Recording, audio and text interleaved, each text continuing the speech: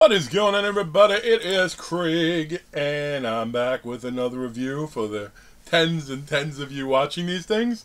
But again, as I said, I'm doing these for me too. It helps me towards the end of the year a little bit, and it's fun. So, 2024 Byte. B Y T E. You know what? My last one that went up, Low Lifes, it's I had an awakening again. Good movie. Yay. Finally, let's break this trend that we've been on of, you know, even the ones that are okay, were just been just been okay. Low Lifes was phenomenal in my opinion. Um, definitely flawed, but phenomenal. I will tell you though, I am going to draw a parallel between this one and the my favorite quote that I heard in Low Lifes that I avoided sharing in my other video because I didn't want to spoil anything. But we'll get to it. So I don't ever I never read these captions to you when we do these videos, but there's something about like the blurb that's up for Byte that I think is intriguing, and that's it says in a concept generated for today's Gen Z audience.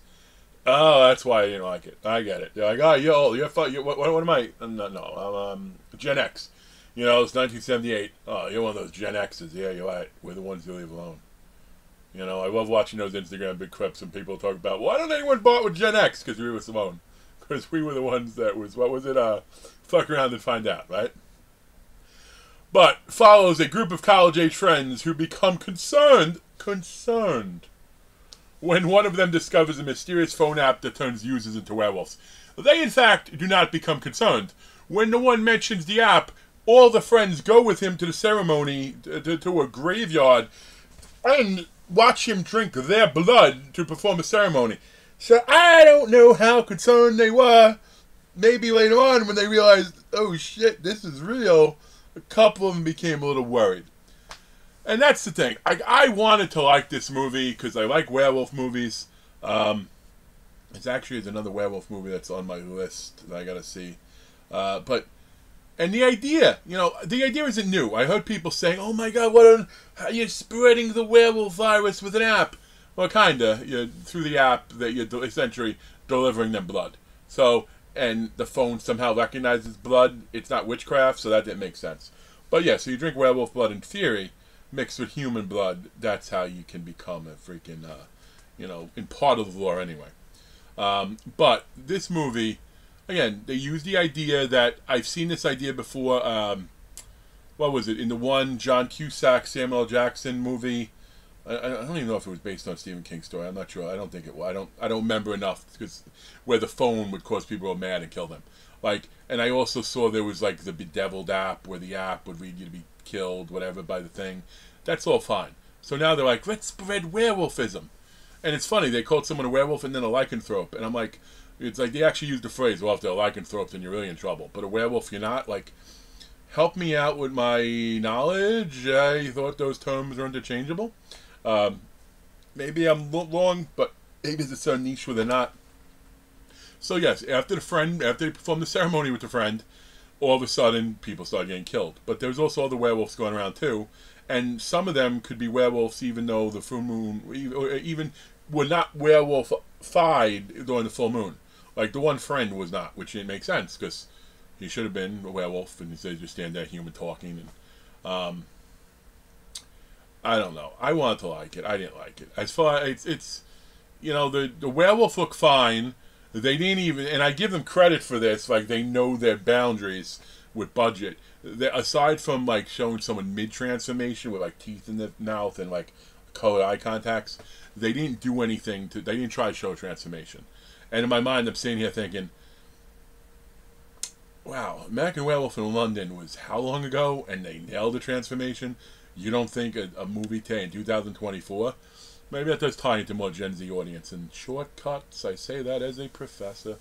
Uh, but the line I really liked in in Low Lifes um, was the one father. The father was screaming at his daughter, um, who hold on, spoil for Low Life. So if you haven't seen Low Life, see right now but they uh, they're, they're essentially murderers and cannibals. And the daughter doesn't always want in on it, although she does like to kill. But at one point, like the father's yelling at her because he found out she was a lesbian, and like she goes, "I'd rather eat pussy than people."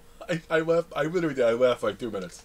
Um, I, I just, I just that is the best line out of nowhere, unexpected in a movie I've seen in a bit. But what does that tell you about when I'm talking happily about a different movie while reviewing this one?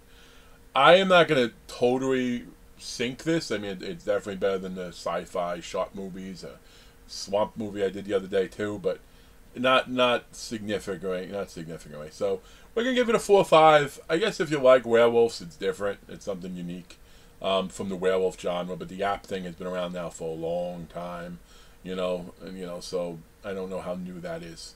I thought I'd give this at least a five because of the app thing, but considering the phone sense blood and that's more mystical and that doesn't make sense, I couldn't do it. So four or five out of ten. See it at your own risk. Uh, as far as what I'm going to do next, I really don't know. I don't really have a movie I'm waiting on. Well, I do. I, I want to see Founders Day, but it's not available anywhere. I've been waiting to see that for a while. So as soon as I get that on streaming somewhere, I'll watch it. But anyway, folks, throw a suggestion down in the comment. I know someone did suggest Rest Checkout. I do want to see that, but I, I am waiting because I was a, a, a backer uh, for the signed mask. And I know things don't ship out on time, but I think from the original timeline, we're probably a year plus removed. So it's almost like until I get it, I'm not going to watch it. I do have the movie, though, because I bought it from Scream Team Team Recent. I even have a poster signed by a lot of the cast uh, that Scream Team throws in for free a lot of times, or adding a couple of dollars. But that said, this went too long. Till we meet again. Peace.